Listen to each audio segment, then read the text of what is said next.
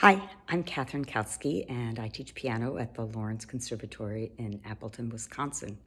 For the past several years, my piano students have made an annual video to raise funds for Music for Food that began when COVID was at its worst.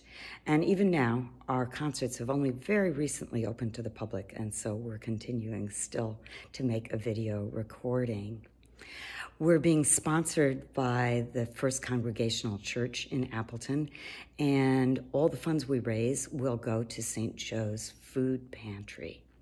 I wanted to tell you just a tiny bit about some oddities of this year's recording.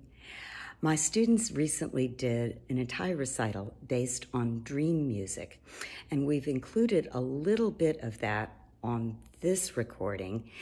You may know that you're in the midst of those dreams because you'll see a student in pajamas and you'll see the stars that um, surround the piano on stage.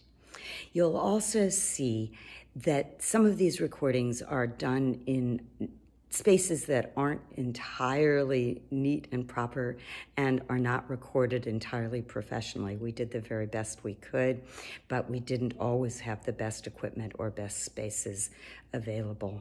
Nevertheless, my students have worked really, really hard on all of this music, and I think they're really proud to be presenting it to you and using it for such a wonderful cause.